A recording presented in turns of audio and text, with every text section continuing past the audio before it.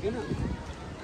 तो आप फिर खेल में आगे जाओगे नहीं तो क्या है कि मैं देखता हूँ कि एक बात और याद रखना, आपसे कोई बड़ा फैक्ट बता के जा रहा हूँ। जहाँ पे सुविधाएँ होती है ना, वहाँ पे कोई खिलाड़ी बड़ा बना ही नहीं कभी।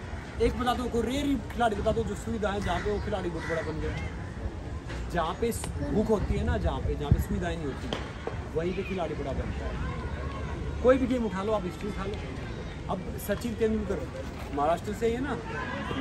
वो कैसे जाते थे? कितने बड़े खिलाड़ी बने? मगर उनके लड़के को सारी सुविधा अभी तक इतने बड़े नहीं बने। हम्म।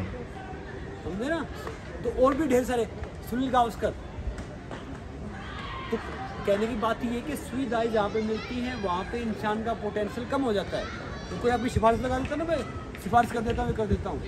तो समझो वो आपका नुकसान कर रहे हैं। तो मेहनत करनी है। अपने बिलीव रखना है। और कोई भी खिलाड़ी है, कोई भी कुछ है, वो अपनी जगह है, आप अपनी जगह विश्वास करो, तुम कुछ भी कर सकते हो। मैं तो अपनी लाइफ में रोमेटिक अर्थाइटिस पेशेंट वहाँ से खड़ा हुआ, फिर आया, फिर डिस्ट्रिक्ट खेला स्टेट खेला नेशनल खेला, फिर इंडिया रिप्रेजेंट किया, फिर सारी चीज़। समझ रहे हो ना? अब प्रोफेशनल रेसलिंग कर रहा हूँ। ये नहीं कि मैंने को छोड़ दिया। अब फिर से वापसी कर रहा हूँ। तो बस यही है, सब कुछ है तो यहाँ पे ना। अगर वर्कआउट करो। तो डाइट वाइट ये सब सेकेंडरी होता है। सूखी रोटी, प्याज खाओगे ना तो वो भी ज़्यादा वो, अगर आप खुश रहोगे, आप मेहनत करोगे तो।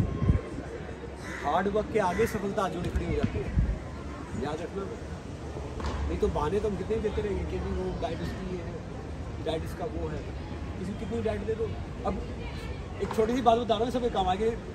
जो एक मंडी देखा ना, चारा मंडी और ये सब होता है, वहाँ पे लाला जी है ना, पूरा दिन बैठे काजू किशमिश खाता रहता है। और वो पाँच के जी का बट्टा नहीं खा सकता, जो पाँच के जी का जो सामान होता है, नहीं खा नहीं सकता। और जो सौ के जी की बोरी उठाता है ना, वो चटनी रोटी खाता है। तो याद रखो, आपकी स्किल से ज़रूर इम्पोर्टेंट आपकी विल है।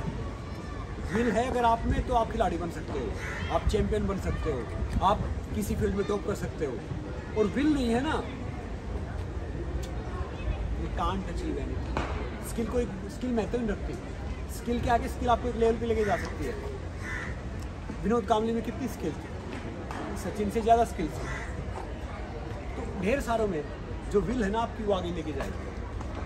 और जो कहते हैं ना कि ये नहीं कर सकता, कोई कोच बोले, वो ये नहीं कर सकता। सब कुछ हो सकता है, सब कर सकते हो। आप कर सकते हो, मैं कर सकता हूँ, कर सकते हो। तो बस हर रोज़ मेहनत करो वर्कआउट करो और अपने आप से कॉम्पिटिशन करो। All the best